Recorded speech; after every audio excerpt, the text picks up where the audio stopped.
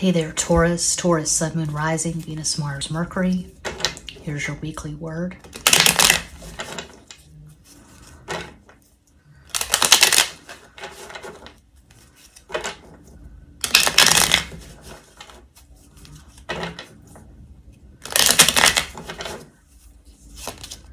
Tres de bastos, three of wands. La Torre, the tower. El sumo sacerdote, the hierophant. Nueve de espadas, nine swords. Dos de oros, two of pentacles. Sota de espadas, page of swords. You've given this person entirely too much power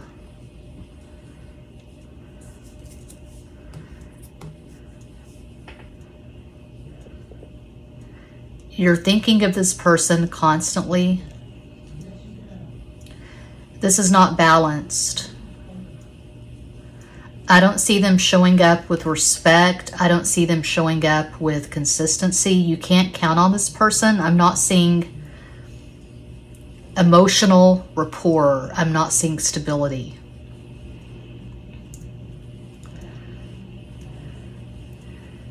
It looks like they're giving you the bare minimum I don't know if this person's going through a divorce and they're just really fucking stressed out.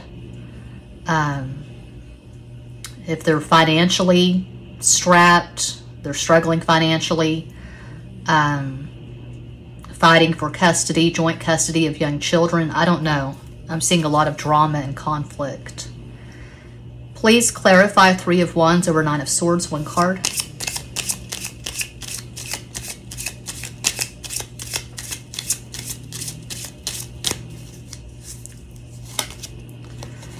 Also, the sun. Please clarify the tower over two of pentacles, one card.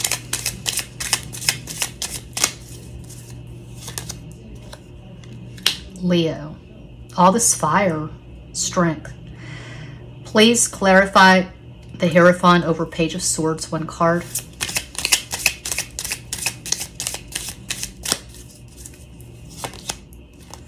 El Colgado, the Hanged Man what I see is a connection that cannot progress into a relationship because this person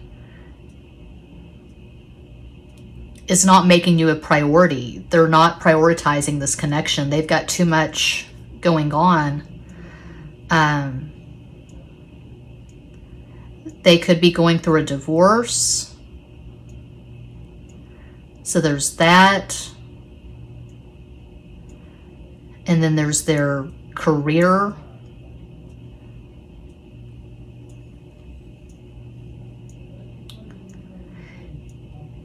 if you have any expectations of this person,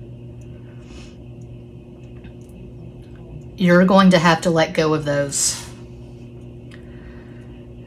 I mean, I wouldn't choose to stay in something like this, but the heart wants what the heart wants. If you're attached, you're attached. I just see you thinking of this person constantly and giving them complete power over your life.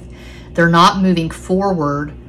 They're not trying to pursue a real relationship. And to me, a real relationship is where there is respect and there is consistent communication.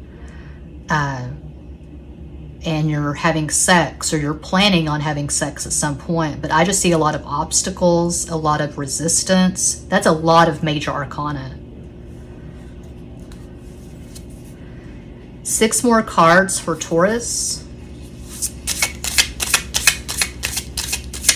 I don't see them coming through for you. I don't see you getting any gratification out of this. You could make plans to meet up, then they flake out on you. Washer and dryer are so loud.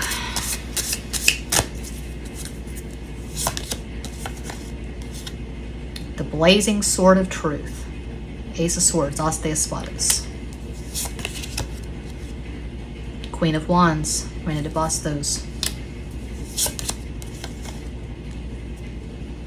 Justice, La Justicia. Yeah, if they're going through a divorce right now, it's an especially difficult divorce. I see them going to battle with an ex, soon to be ex. This person has a very loud, definite personality, and it's brutal. They're not having a good time right now. I'm just seeing total drama. Yep. Planet Earth. The world, El Mundo. This person's world has been turned upside down, so it's simply not realistic to have any expectations for this person. Two of Staffs, Two of Wands, Dos de Bastos, Two of Jades, Two of Pentacles, Dos de Oros. So you have a choice.